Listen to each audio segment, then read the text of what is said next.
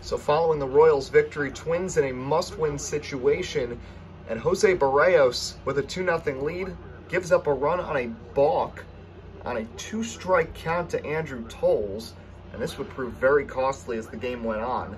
Later on, Cleveland ties it, and then Tyler Naquin comes through, and the defending World Series champs with nothing to play for, aside from spiting a division rival, go up 3-2. Then top of the ninth, Andrew Miller in for the save, but Andrew McCutchen does the job. This was after a wacky infield single that led to an injury to Edwin Encarnacion. Luis Arraez comes home to score, and the Twins tie it up at three in the ninth against Andrew Miller.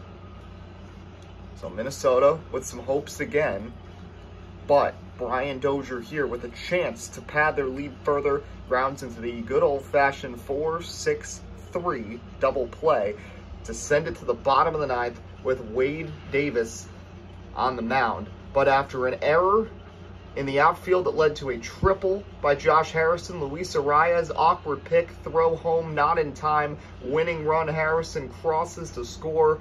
The Indians win it. The Twins season is over in heartbreaking fashion, and the Kansas City Royals win the AL Central and get the three seed in the American League postseason.